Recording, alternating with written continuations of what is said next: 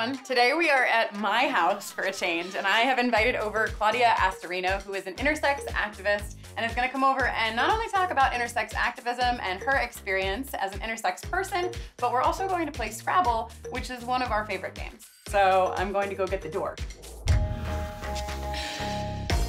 Hi, how are you? Hi, my name's Claudia. I am an intersex person and I'm gay. Pick a tile first. This is how we see who starts the game. In my family, we never actually keep score. The point is just to like get rid of all the tiles, but like there's no counting up numbers. And, So like, the point is to have a blast. Yeah. Tell me about your family. pretty stereotypical Italian American family. It was just very like wholesome, like typical suburban kid upbringing. Right. From the time I was eight, I knew that I was born without a uterus. It wasn't until later that I learned also that I am intersex. In college, my roommate would leave and I would like immediately get on my giant clunky desktop and be like searching for intersex. And I'm like, I don't understand what this means.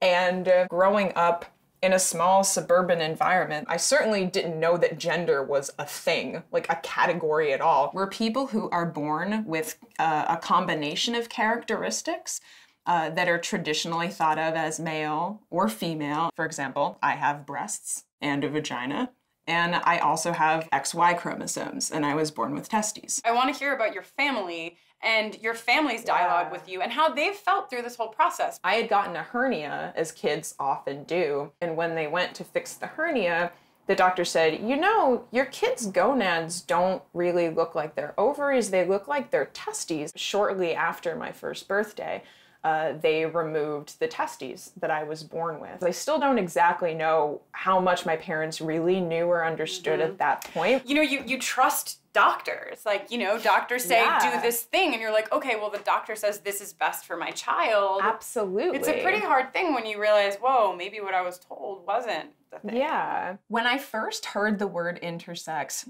I really didn't know what that meant. Like a lot of people who are told that they're intersex by doctors, it was a lot of information all at once. A lot of the surgeries or other procedures that are performed are sort of just to make sure that our bodies look like quote unquote normal boy and girl bodies. There's all kinds of expectations we have about what male and female bodies look like. Mm-hmm. Once I sort of understood that, it was like, oh, I didn't know that these procedures weren't actually for health reasons. They were just sort of checking that I would be able to have quote unquote normal sex with a man one day. There are people out there who are really comfortable with their bodies, and even people like I was starting to figure out that I was, that didn't feel like they had to shoehorn themselves into a male or a female box, that they can identify as intersex.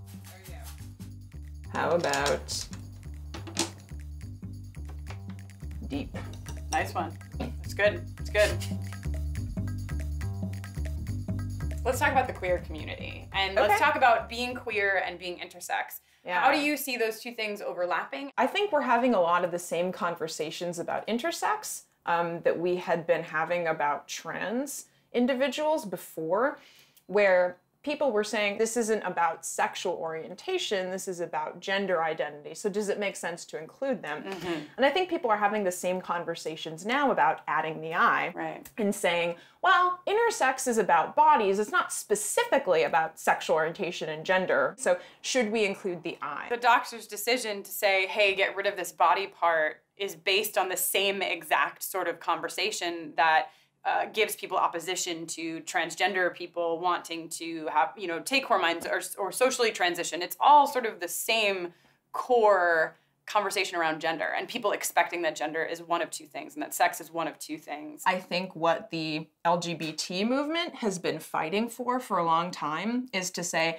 regardless of my body, regardless of my identity, we should be respected and we should be treated like people um, and have rights that other people get to have. I know what it's like for me to come out as queer, um, in Yeah. you know on a day to day basis, but certainly not within a relationship, right? Like I've never had to say to somebody, "Hey, by the way, I'm queer," when I'm like trying to date them. What is it like to come out as intersex? a lot, a lot of people know what it means to be gay. But we're at a time in history where people really don't understand what intersex is. And it's sort of like people asking a lot of questions like, so does that, do you have, Um, is that like a her? Uh, like people just don't know. I feel like that was a spot on impression of like a response. I've unfortunately had a lot of practice. Yeah.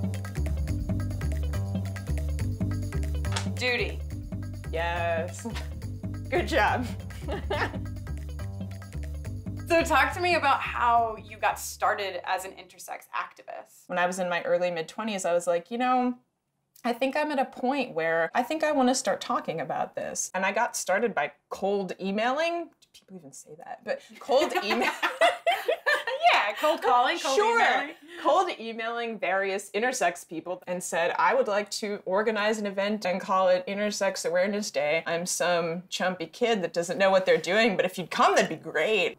Yeah, so this will be the sixth one. It's a great opportunity to raise awareness that we exist, that we should be able to have the bodies that we're born with, like everybody else, without it being altered. We didn't get to consent to that. It's so great. I mean, it's like so many other pieces of, I think, the queer community where the more that we have conversations about it, the more people understand what the terminology means, the variance within the terminology, Yeah. and just like seeing human beings who are talking about their personal experiences. You learn more, you understand more, and you know things hopefully will get easier, whether it be in like a medical context or just in like an everyday context. Absolutely. My goals as an intersex activist to raise awareness that intersex people exist, to educate people about what the word intersex means. I'm also hoping there will be policies that say it's not okay to perform these kinds of medical procedures on kids who can't say that they're okay having them or not, um, especially when they're not for a health benefit. That's what I hope for the future.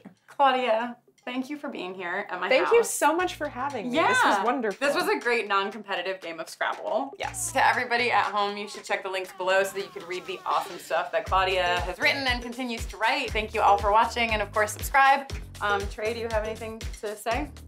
Cool. Well, everybody have a Take good a week.